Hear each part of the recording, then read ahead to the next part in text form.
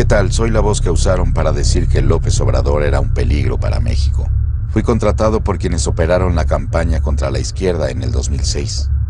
En esta ocasión quieren imponer al PRI, el partido responsable de los principales males del país. Pero ya basta.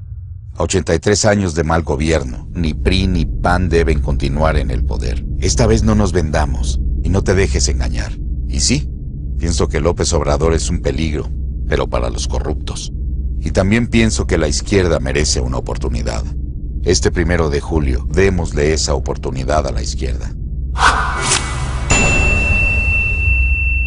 El cambio verdadero está en tus manos.